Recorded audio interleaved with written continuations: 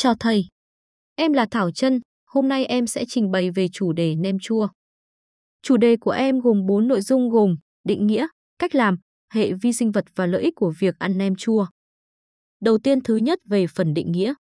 Nem chua la một sản phẩm xúc xích lên men được nghiên cứu tương đối kỹ. Làm nem chua la hoạt động phổ biến ở những vùng khác nhau trên cả nước.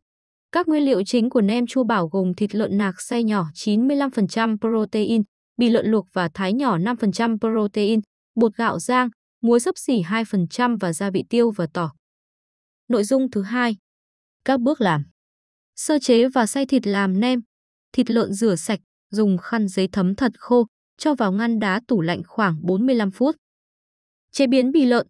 Bì lợn mua về trụng sơ qua nước sôi, thêm vào một ít xả đập dập, hành tây và hoa hồi để khử mùi hôi của bì. Trộn hỗn hợp làm nem chua. Gói và ủ nem chua. Yêu cầu thành phẩm.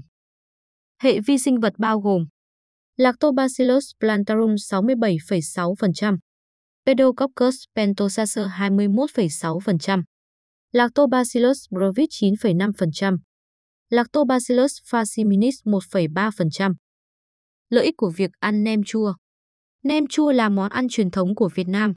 Ngoài giá trị dinh dưỡng cao, nem chua còn cung cấp hệ vi sinh vật có lợi vi khuẩn lactic có tác dụng tăng cường chức năng miễn dịch, ức chế một số bệnh đường ruột và kích thích tiêu hóa.